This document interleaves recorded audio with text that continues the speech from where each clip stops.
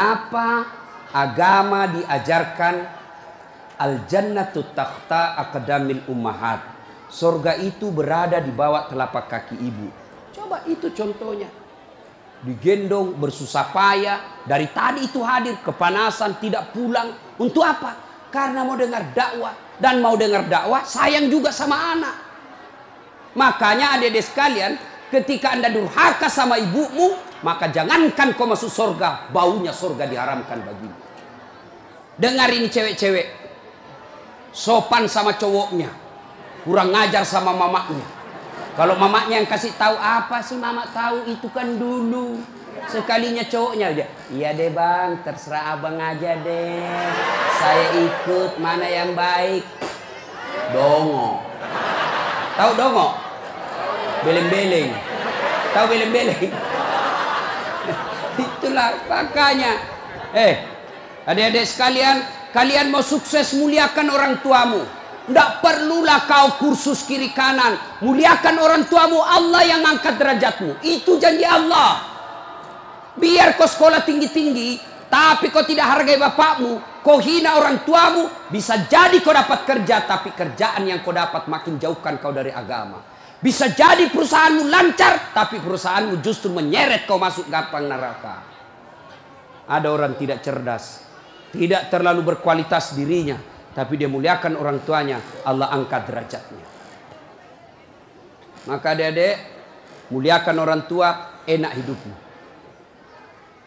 Itu tadi model anak sekolah. Kalau kita model yang sudah punya istri, bagaimana modelnya Ustadz durhakanya? Takut sama istrinya. Ya, dapat rezeki. Suaminya bilang, Bu, sudah lama kasihan ini nomor antrinya Bapak Mau haji tidak dapat-dapat. Ini ada kesian duit. Bagaimana kalau kita kasih umroh dulu ibu? Bapak kita kasih umroh dulu di kampung. Apa langsung Nabi bilang istrinya? Apa? Bapakmu, bapakmu, bapakmu terus. Apa? Mamamu, mamamu, mamamu terus. Langsung Nabi bilang suaminya. Sudah mipalek terserah kau. Ah. Ada begitu di sini? Ada. Eh, beleng-beleng kamu takut sama istrimu, nawamu semua dia kau ambil semua. Jangan takut sama istri pak. Bapak tidak bakal bahagia dalam hidupmu kalau kau lebih takut sama istrimu untuk membahagiakan orang tuamu. Nah. Makanya hidupmu susah dalam rumah tangga. Kenapa? Istrimu kurang ngajar sama ibumu.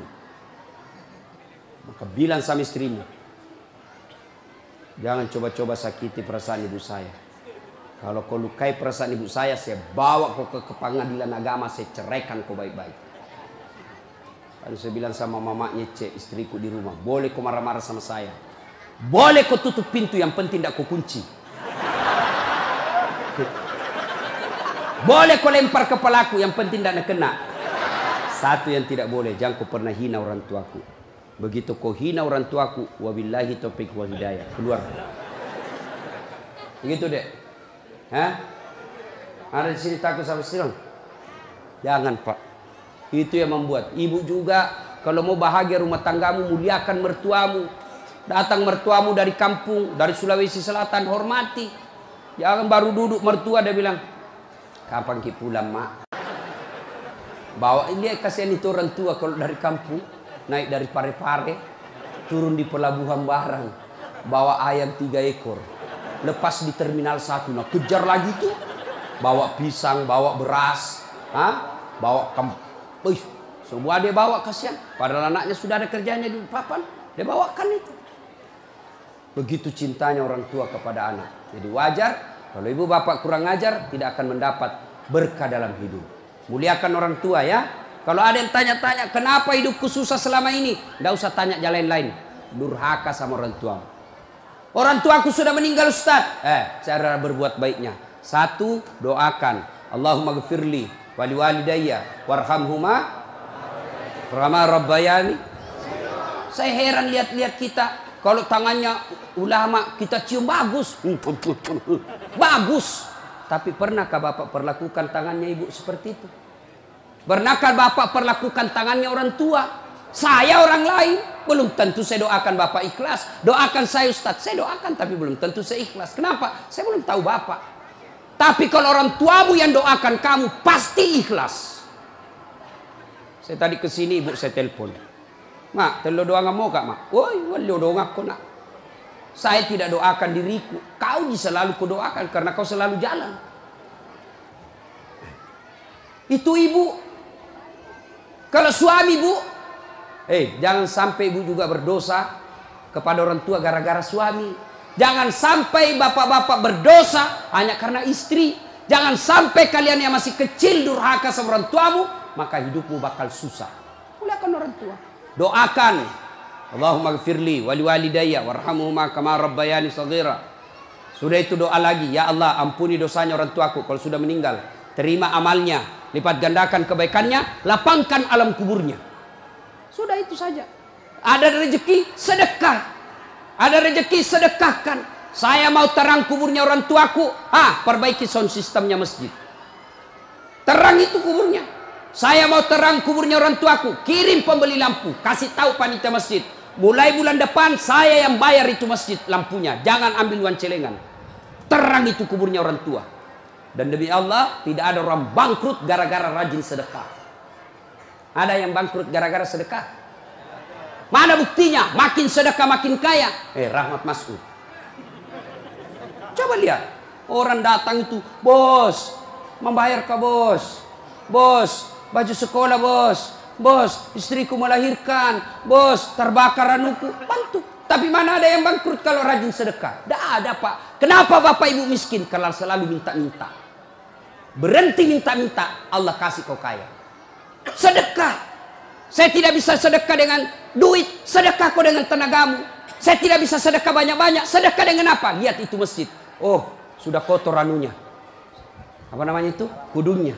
Putih bukan, coklat bukan, hitam bukan, kak diam nih. Ah sudah, bawa masjid satu kudung. Itu sedekah. Oh, masjid masjid antara masjid dengan toilet jauh. Eh sedekah dengan sandal swallow. Nah curi orang, tidak ada urusan. Itu sedekah. Kita lihat karpet, eh sudah jelek, sedekah dengan karpet. Insya Allah banyak pahala. Eh, hari Jumat kita kirim air botol gelas ke sana. Air gelas ke sana. Orang minum itu sedekah. Saya cuma bisa nasi bungkus 10 saya sumbang hari Jumat. Itu sedekah. Allah tidak lihat banyaknya. Yang penting ikhlas banyak daripada sedikit tidak ikhlas. Sedekah. Serius. Sudah sedikit tidak ikhlas lagi. Mending banyak ikhlas. Iya toh?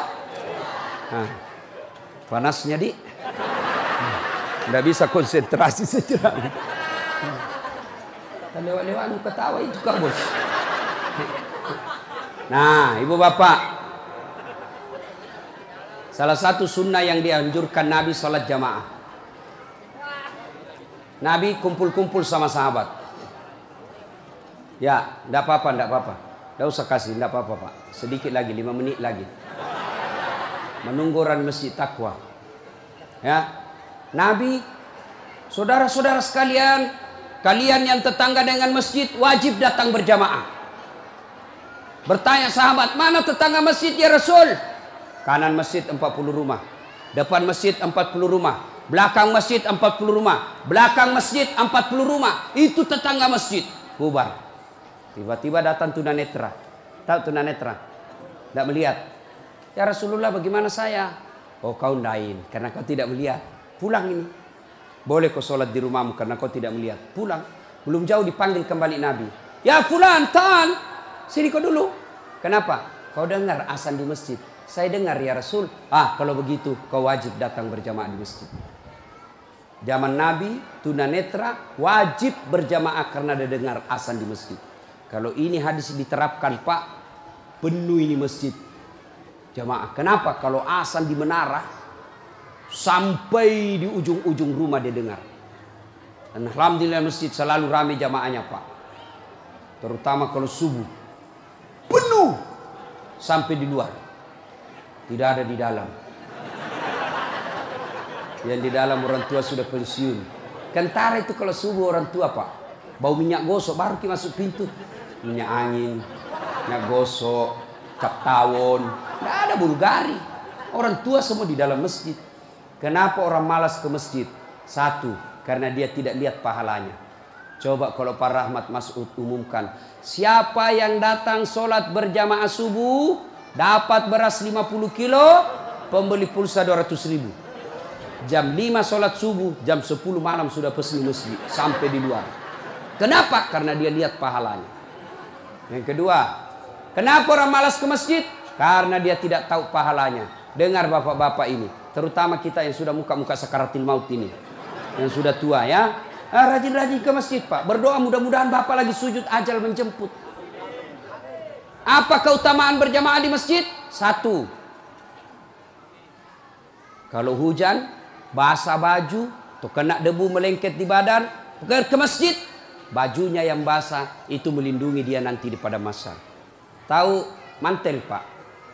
Hujan kalau hujan pakai payung. Apa tujuan itu payung? Supaya bapak tidak kena air. Supaya ibu tidak kena air kalau pakai baju mantel. Begitulah fungsinya baju yang basah. Ketika bapak ke masjid dan gerimis, basah baju itu. Baju itu bapak yang melindungi bapak agar tidak disentuh api neraka. Sudah. Coba jangan juga salah paham. Teman-teman sudah dengar begini, hujan keras dia buka kudu, dia buka payungnya. Pergi di jalan, ah belen-belen namanya itu. Ya. Apalagi keutamaan berjamaah di masjid?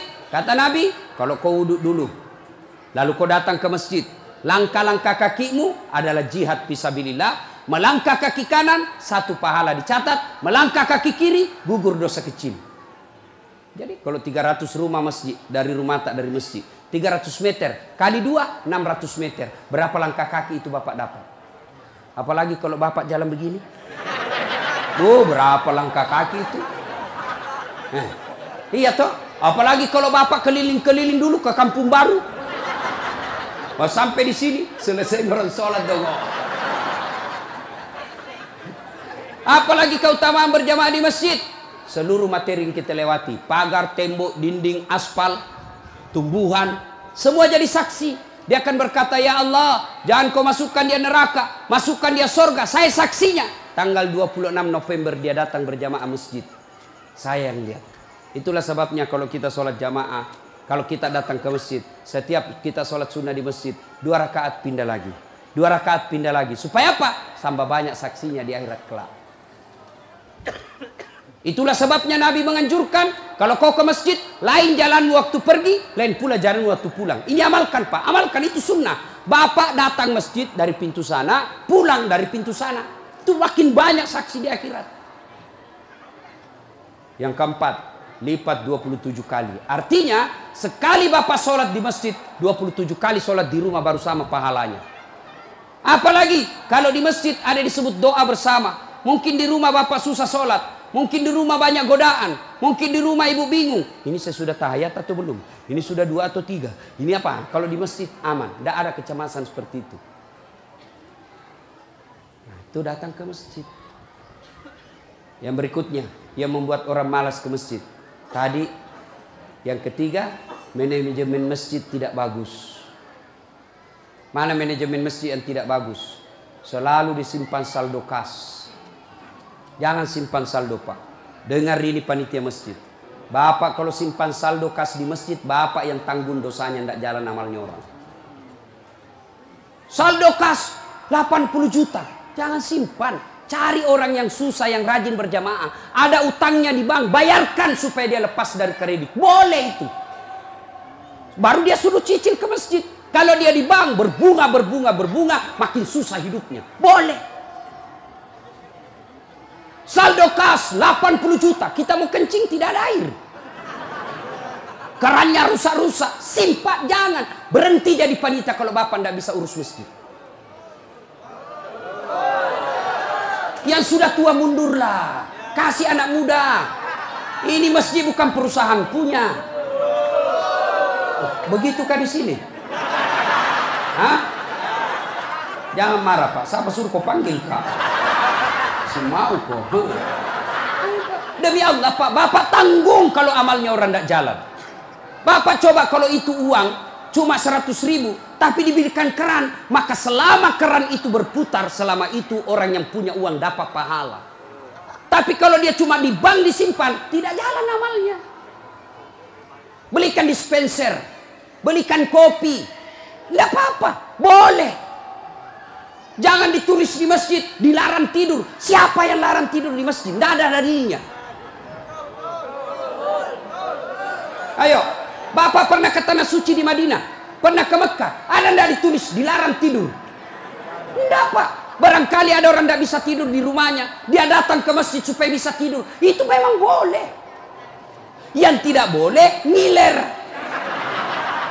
Maka kalau kau mau tidur di masjid, bawa kau bantal. Kalau tidak bisa kau gelisah kau di rumahmu. Bertengkar kau sama istrimu. Melawan istrimu ngomel terus. Maka dia bilang, jangan kau pulang. Merdeka. Bodoh itu istri sekarang kalau Nabi bilang sama Tuhan, jangan kau pulang. Oh gembirai. Langsung Nabi bilang pacarnya, sini kau sayang. Di rumahku kau tidur. Kulayani kau dengan baik. Hmm, sudah. Jangan ditulis, jangan bawa anak-anak berisik. Bersyukur kalau masih ada anak-anak berisik di masjid. Kalau tidak ada anak-anak berisik di masjid, maka tidak ada lagi nanti yang mau datang di masjid. Kalian juga orang tua kalau anakmu mau ke masjid belikan songkok dan baju baru. Anaknya mau pergi, Pak, mau ke pergi masjid, belikan songkok? Apa dia bilang? Itu nak songkok na nenek nu kau pakai. Anaknya nomor tujuh, songkok na nenek na nomor sepuluh. Tak kai, tak buas si songkok nama buas sih. Berteriak ni temannya Pak Doja, Pak Doja, Pak Doja. Tidak mau ya nak pergi masjid. Hei, ini masjid ini sound systemnya tidak bagus. Kasih bagus. Ini saya kasih tahu Ki, tanya itu ahli tentang AC. Itu kalau ada AC besar begini dua, dingin mini masjid, tambah lagi itu. Tapi apa yang kasih panas karena Bapak pakai kipas. Itu kipas dengan AC ibarat air dengan minyak, tidak bisa dia menyatu. Kenapa? Itu AC ruangan harus tertutup. Kalau kipas tidak boleh tertutup. Kalau tertutup itu kipas, maka makin panas orang di dalam. Kenapa? Karena itu kipas perlu sirkulasi udara, perlu angin keluar masuk. Kalau tidak keluar masuk angin, maka angin yang ada itu saja nah putar terus, akhirnya jadi panas. Apalagi kalau ada yang bau keteknya di dalam. Bah! Pwede masesano. Oh, kaya mak badaramang mak baulas suna man sedinya. Itu. Itu mi pentingnya anak muda jadi pengurus masjid. Karena kalian kalau sudah tua tidak ada yang tahu. Kau juga anak muda, muliakan orang tua. Tempatkan di mana itu orang tua, tempatkan sebagai penasehat masjid. Jangan masjid dikira dia punya. Ini lembaga umat yang punya. Kasih karpet yang bagus. Ada saldo kas jangan simpan Pak Bapak berdosa. Tidak jalan amalnya orang. Apalagi membuat orang malas ke masjid. Apa? Kadang-kala apa? Sound sistemnya jelek. Begitu kita takbir Allahu Akbar langsung story.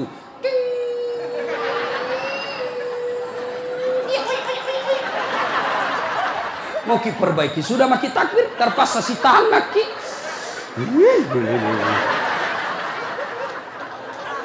Apalagi membuat orang malas ke masjid. Apa? Kadang kala buat sin. Jengkel orang dengar muatsin. Orang tua. Sudah tua. Tidak mau tahu mengalah. Mundur na wasangiko. Ayah.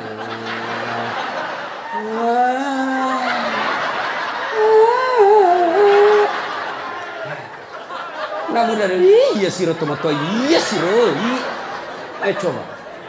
Iya. Apalah yang membuat orang malas ke masjid? Kadang kala penceramah. Kita di rumah sudah bertengkar istri. Di kantor mumet pikiran. Kita datanglah ke masjid dengar ceramah. Mudah-mudahan kita dapat pencerahan. Ini bukan pencerahan. Nak kasih, kita kasih takut kita terus. Dibakar pantatmu. Ditusuk. Eh, Nabi bilang tak boleh.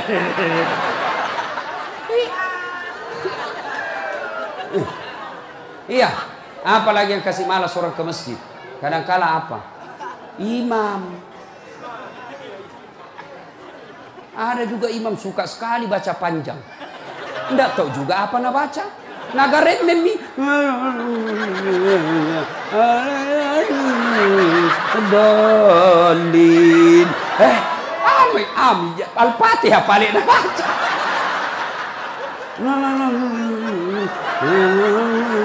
Dolin. Malam petoni, tidak jelas. Makanya kata Nabi, kalau kau jadi imam, dengar ini Pak Imam. Satu, baca kau yang ringkas. Kenapa? Karena jamaah kita di belakang macam-macam. Ada yang sudah tua tidak lama bisa tidak bisa lama berdiri. Ada anak muda yang baru datang, tidak senang yang lama-lama.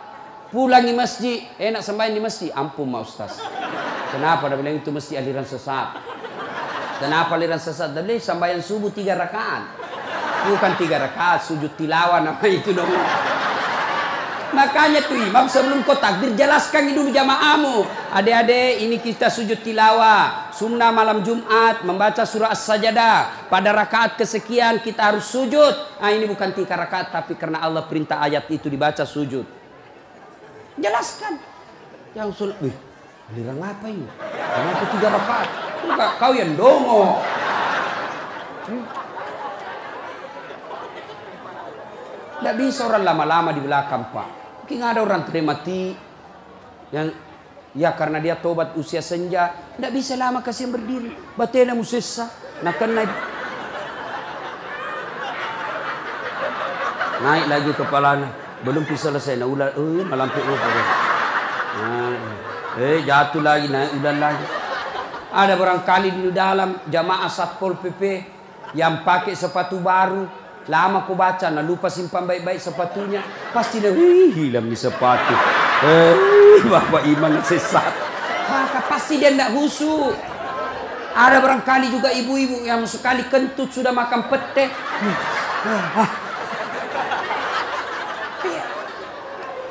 Ya, yang kedua kata Nabi, kalau kau jadi imam, baca yang umumnya orang hafal. Tujuannya apa Ustaz? Satu, supaya jamaah ikut kalau dia hafal. Coba kalau kita imam baca Al-Fatihah, kita ikut juga toh. Kenapa? Karena kita hafal. Tapi coba imam membaca surah Al-Baqarah ayat 10 sampai 120. Nah, imam sibuk dengan bacanya, kita sibuk dengan hayalan tak. Mau ikut, tidak dihafal, mau ki ruku, belum pi ruku, terpaksa dibaca semua pengumuman masjid. Keadaan keuangan masjid, saldo kas pengeluaran, sumbangan dari haji. Dibaca semua. Belum selesai ini sudah dibaca satu palampang ini. Satu ini dibaca lagi anu Persatuan Guru Republik Indonesia. Belum selesai imam dibaca lagi bajunya tim sukses. Rahmat Masud calon wali kota kota Balikpapan. Eh, semua pak dibaca. Siapa salah? Imam ada ini cerita cerita gini walau alam benar atau tidak ada penghafal Quran, dites bacaannya. Nah, kau imam, kamu kita dengar bacaan imamlah dia. Oh, dia baca betul yang susah. Hanya dia yang tahu.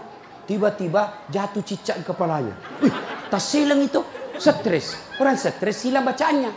Apa sambungannya ini ayat? Mau ruku, tidak tahu. Eh, apa sambungannya? Tidak ada tuh bisa bantu. Terpaksa Nabi bilang imam. Tolong bantu di belakang. Nabi bilang di belakang. Saya juga tidak tahu. Tiba-tiba berteriak anak muda. Dia bilang, kalau begitu ya sudah, ya Allahu Akbar. Siapa salah? Siapa salah? Siapa salah? Ini waktu ku, waktu ku kuliah ini, kisah nyata. Waktu saya KKN. Belum Pak jadi ustaz waktu itu. Ada temanku, baru kenal ki ceritanya ini. Ah, pikir sholat di posko. Dia pakai gamis. Baju anu itu, baju ustaz sih. bilang, alumni pesantren ini. Dan imam, dia lah imam. Al-Fatihah lancar. Begitu dia baca Al-Kafirun, aku bilang aja macam apa? Macam apa ini? Wala antum abiduna ma abud wala ana abidum ma abattum wala antum abiduna ma abud wala ana abidum ma wala antum abid wala ana jengkel temanku yang anak fakultas sastra langsung teriak Nabi bilang, "Oi, kenapa itu tak putar-putar tidak mau sampai?" Nggak bilang ini imam. Ilmi juga kupikir. Kacau sholat. Siapa salah? Siapa salah? imam. Ini waktuku SD di kampung, sembahyang asar. Bih, sujud Pak Imam lama sekali. Apa ini imam lama sekali sujud? Tiba-tiba ada temanku nangka kepalanya, sembahyang asar tuh. Dan seter, bih, tidak ada imam. Ternyata imam keluar dari pintu samping. Kacau mi sholat bubar, tidak ada imam. Selesai sholat ditanya, Pak Imam, kenapa kau tinggalkan sab? Nabi bilang, kentut kanan. Pak Imam, lain kali kalau Bapak Imam kentut, kasih bangun ki dulu supaya dilihat kau pergi. Nabi bilang, tu sengaja nak karena malu kau lihat. Kacau sholat, siapa salah? Siapa salah? Imam. Makanya agama mengajarkan dalam pikir sholat jamaah, hati-hati milih imam. Makmum siapa saja boleh jadi makmum. Mulai orang gila sampai orang sadar boleh jadi makmum. Mulai orang dewasa sampai belum balik boleh jadi makmum. Mulai orang cerdas sampai orang blow on boleh jadi makmum. Imam tidak boleh. Hati-hati. Kenapa? Salah imam kacau sapi. Maka hati-hati. Kalau salah imam bubar jamaah. 2020 yang akan datang balik papan akan milih imam. Wali kota. Kalau kau salah milih wali kota, sengsara hidupnya. Mengerti masukku? Mengerti itu? Siapa yang panggil kak? Hah? Ada juga calon wali kota datangkan artis. Tahu pernah mama ustad. Kalau artis nak datangkan kibu, terancam kibu. Datang itu artis, kelihatan dadanya, kelihatan pahanya. Nah goyang di depannya suami tak. Enggak juga nak kasih lihat kipahanya pak, nak kasih lihat kisah saja. Dia tu apa keteni teni kipa. Enggak nak kasih pegang dikasih lihat saja. Cancing cu. Ada itu pak Haji menonton ya. Coba kalau ustaz kita dah tahu ini sholat jamaah. Itu enaknya kalau calon pemimpin, pemimpin kita yang juga calon pemimpin dekat dengan ulama. Jangan pemusuhi ulama. Yang penting jangan jadi manusia jarum apa itu jisamsu. Tahu jisamsu? Janji manis nyatanya palsu. Insya Allah para tidak begitu. Perlu ini perlu. Nah, tanya, Ustadz bagaimana kalau perempuan? Boleh ibu perempuan ke masjid. Tapi tidak dianjurkan. Tapi kalau mau ke masjid, jangan dilarang kata Nabi. Kenapa perempuan dulu tidak dianjurkan masjid? Karena dulu tidak aman. Kalau pergi sendiri diculik dan diperkosa dulu. Sekarang di Banggar aman. Siapa mau culik apalagi kalau ibu sudah 60 tahun. Ah, siapa mau culik ibu bikin susah. Ada di remaja. Ini ustadz yang ceramah. Tidak pernah saya pondok pak. Tidak pernah saya sekolah pondok. SD sekolah umum. SMP sekolah umum. SMA sekolah umum. Sarjana sekolah umum. S2 sekolah umum. S3 sekolah umum. Di mana saya belajar agama? Datang ke masjid. Saya kalau Ramadan dulu zaman SMP dan SMA, saya sudah bermalam di masjid. Waktu itu belum saya tahu apa itu itikaf. Tapi ternyata itulah itikaf, tinggal di masjid. Apa kerjaku? Kalau sudah jam 2 teriaklah saya di masjid. Sahur, sahur, sahur. Kalau ada lebih kue bawa sedikit ke masjid. Kita mau juga buka puasa mau makan sahur di sini. Cuma ada dulu imam di kampungku aneh-aneh pak. Berteriak ini bilang, jangan pak, jangan pak. Orang kaget semua, Ih, siapa yang pukul Pak Doja? Oh lari semua orang ke masjid. Jangan pak. Ternyata jam 4. Kacau orang. Sudah itu ditegur, jangan bilang jangan pak. Karena Pak Doja tidak tahu. Nah bilang lagi, sahur, sahur. Sudah jam 3 lewat 60 menit. Ini cocok tahu aja gampang. Ayo, ibu bapak, saudara-saudara sekalian. Kita juga jamaah, ada aturannya. Sudah ya? Nah, karena sudah waktu, dari tadi saya tunggu, Alhamdulillah. Kalau masih mau dengar ceramah, eh kita pergi rame-rame ke Masjid Takwa. Kan tidak dibayar gitu. Nah, kita sama-sama lah ke sana. Ini saja tausiah kita, mudah-mudahan ada manfaat.